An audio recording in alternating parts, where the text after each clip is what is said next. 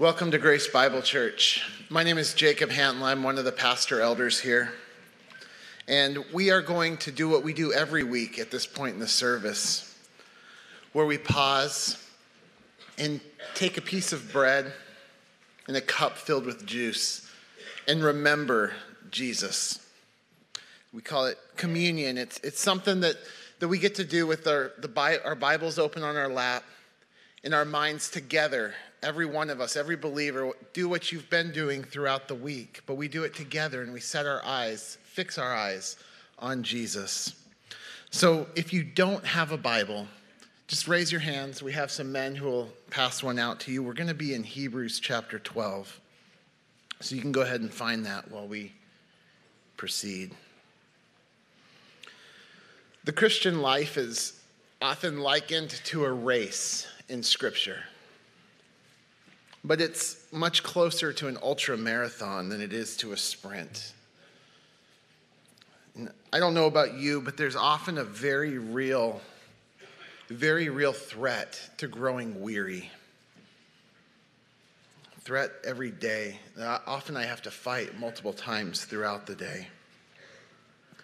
There's often temptation that just doesn't let me rest. I don't know if you've ever faced that type of temptation where you just say, I, I don't know if I can endure this throughout the night. Maybe I should just go ahead and sin.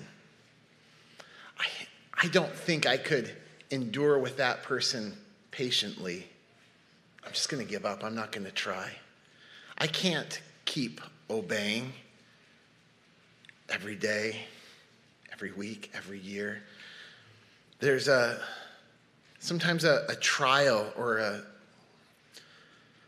trial, a temptation, a struggle just seems to overwhelm you. It, I, I don't know if it, maybe say I don't know how I'm going to live life without a spouse. Right? We've we've had a few of those. I, this is going to continue every day, every week. God, this is wearying. Maybe in the in the face of, of chronic pain. God, just one night of sleep. I'm just too weary to go on. Another family member gets cancer. Maybe work. I don't know where my next paycheck's coming from. I'm going to lose my job. Maybe something more mundane. Just, I'm so tired of these kids. God help me. And, and in the midst of that, there's a very real struggle there's a very real possibility of growing weary, of not enduring in holiness, not enduring in faith. Right? You have to endure in your Bible reading each day, endure in prayer, endure in honoring God with your thoughts and words. We need to fight for endurance in parenting well, endurance and contentment, endurance loving the one who's hard to love in counseling those in the body who are difficult to counsel, enduring and receiving counsel, endurance in sharing the gospel, endurance in service in the church, right? Next generation ministry. It's over and over and over again in small group when you just feel like you need a break. Endurance and fellowship in the church. Sometimes just the busyness of the world, the thoughts, the cares, of this world threaten to, to choke out faith. There's so many things that are fighting for our attention, so many things that are threatening threatening us or threatening our, our attempts to run this race with endurance.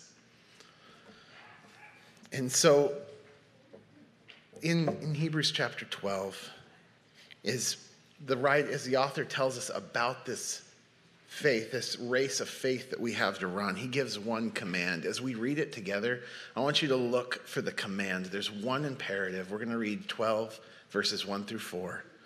Look for the command here so we can see what we are to do. It says, Therefore, since we have so great a cloud of witnesses surrounding us, let us also lay aside every encumbrance and sin which so easily entangles us and let us run with endurance the race that is set before us, fixing our eyes on Jesus, the author and perfecter of faith, who for the joy set before him endured the cross, despising the shame, and has sat down at the right hand of God. For consider him who has endured such hostility by sinners against himself, so that you will not grow weary and lose heart. There is one command here, one imperative. What was it? It's consider him. That's an active calling to mind, right? It's not just saying, okay, I know that. Let's move on. But he says, in this race, consider him, consider Jesus, actively ponder and respond appropriately. It's more than just knowing or being familiar with facts. And you don't only consider Jesus at communion, taking a time out from real life, and consider Jesus at communion now with the bread and juice in your lap. No, you have to consider Jesus as you run, as you live, as you go out into this world. Tomorrow, when you go to work, or you wake up and you have this whole list of, of things to do, and it seems like you just can't get the laundry folded. What do you do? You consider Him. As you're overwhelmed, you're fighting for obedience, you consider Jesus. Above all else, your mind must be preoccupied with that one consideration. Consider Jesus so that you will not grow weary and lose heart. And Jesus wisely gave us this regular discipline of the Lord's Supper, where we all, as one church body, come together and fix our eyes on Jesus together. And it should be a time when we do together what we've done individually and in small groups, as families, and just you and yourself on your knees in prayer as you start the day and then as you need help throughout the day. We consider Jesus, remembering him, trusting him, looking beyond our circumstances to where he sits at the right hand of, the, of God, having he's the author, the perfecter of our faith, and a perfect example of our faith. So, what do we consider about him? Even in all of timeless eternity, we won't exhaust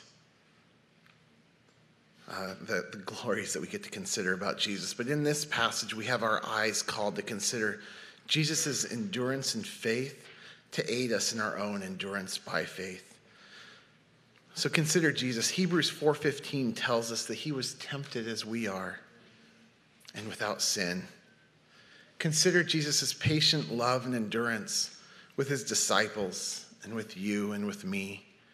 Consider Jesus' endurance and all night prayer, in healing the masses, and patiently teaching his disciples the same things over and over again. Consider what Hebrews 2, 12 2 tells us about Jesus, who for the joy set before him, he endured the cross, despising the shame.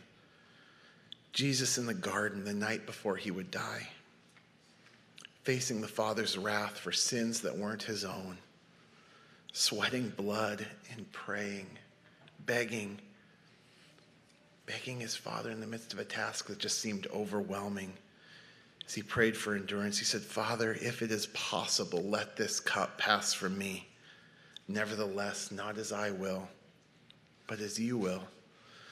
Then, speaking figuratively of drinking the cup of God's wrath against the sins of all those who would have faith in him, so that we could receive eternal life with him, Jesus prayed again. And just imagine him. These might be comfortable words that you're familiar with, but imagine Jesus in tears, trembling as he cried out, longing for endurance to obey and obeying. He said, My Father, if this cannot pass unless I drink it, your will be done.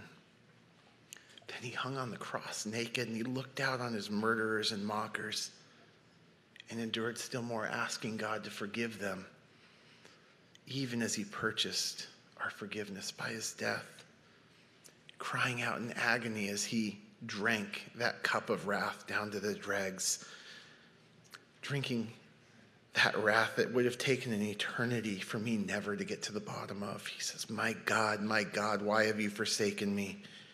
And he endured till the end when he could say before he died, It is finished. Jesus endured. In your endurance, look to him. That same one who's raised, he's at the Father's right hand.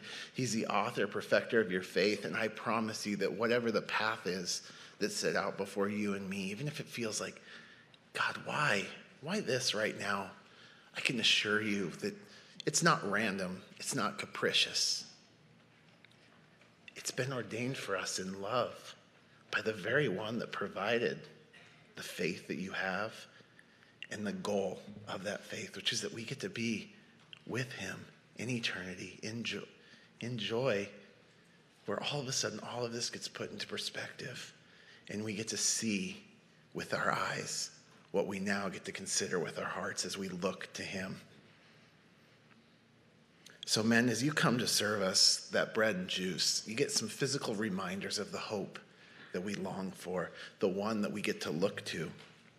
So, as you take that bread and juice on your own, consider him and resolve, think, how can I consider him better this week?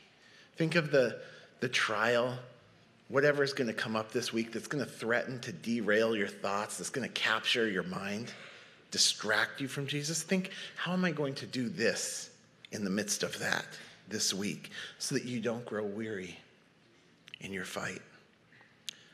And if you're here and you don't have faith, if you like, that's just foreign to me, or by your own admission, you're not a Christian, this time isn't for you. We're so glad that you're here, but just let the bread and juice pass. But please, I beg you, if you don't know Jesus in faith, don't leave here without talking to me, one of the elders, or really anybody here who you see taking that bread and juice. Let them tell you of the hope that they have in Jesus. So, men, come serve us, take communion on your own, and I'll come up and pray in a few minutes.